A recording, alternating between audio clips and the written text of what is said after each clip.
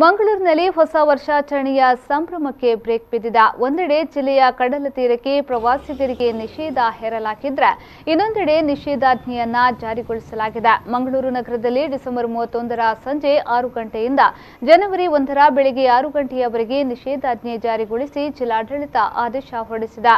ಸಾರ್ವಜನಿಕ ಸ್ಥಳಗಳಲ್ಲಿ ಸಂಭ್ರಮಾಚರಣೆ, ಪಾರ್ಟಿ ಆಯೋಜನೆ ನಿಷೇಧ ಹೇರಲಾಗಿದೆ. ಅಲ್ಲದೆ ನಿಯಮ ಮೀರಿ ವಾಹನ ಸಂಚಾರ ನಡೆಸಿದ್ರೆ ಅಂತಹ ವಾಹನಗಳನ್ನು ಸೀಸ್ ಮಾಡುವುದಾಗಿ ಮಂಗಳೂರು ನಗರ ಪೊಲೀಸ್ ಆಯುಕ್ತ ವಿಕಾಸ್ ಕುಮಾರ್ ಅವರು ಎಚ್ಚರಿಕೆಯನ್ನ ನೀಡಿದ್ದಾರೆ.